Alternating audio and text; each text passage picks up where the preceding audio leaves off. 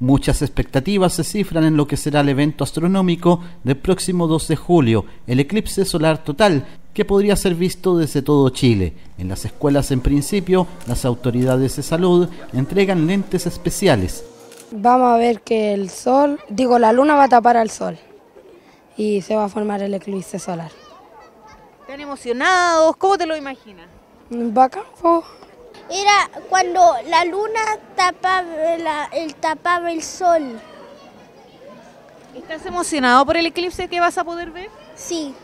Se aportan además recomendaciones no tan solo a los recintos educativos, sino que también a la población en general para evitar problemas vinculados a daños a la vista le estamos advirtiendo a los papás que también pueden mirarlo a través de eh, el vidrio que se usa para soldar, pero debe ser del número 12 hacia arriba. Eh, la verdad es que es bastante peligroso si ocupan otro medio, la verdad es que no hay ningún, ningún otro, otro vidrio que, sea especializado y que nos proteja. Eh, no se pueden ocupar eh, los lentes de sol tradicional, no se pueden ocupar la radiografía, tampoco los vidrios ahumados, porque eso nos puede traer graves consecuencias como que se queme la retina, distintas retinopatías, incluso nos podría llevar a la ceguera.